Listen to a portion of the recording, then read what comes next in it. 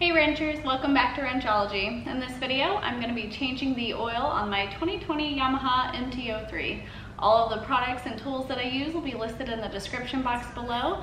Don't forget to like the video and subscribe to the channel. Let's get started.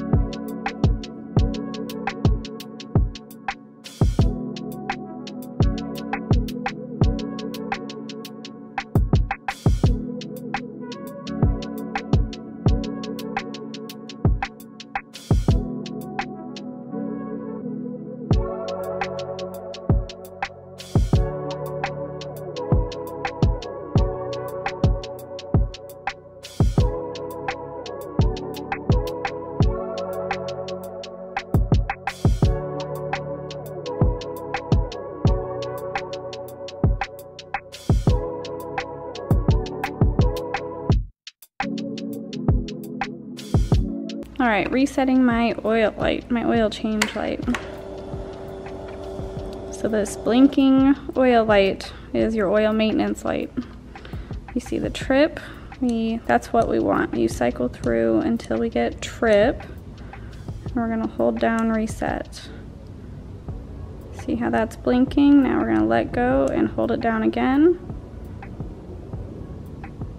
All right, Thanks for watching guys. That's how you change the oil and reset the oil maintenance light on a 2020 Yamaha MT-03. Don't forget to hit the like button and subscribe to the channel if you wanna help support. Otherwise, till next time.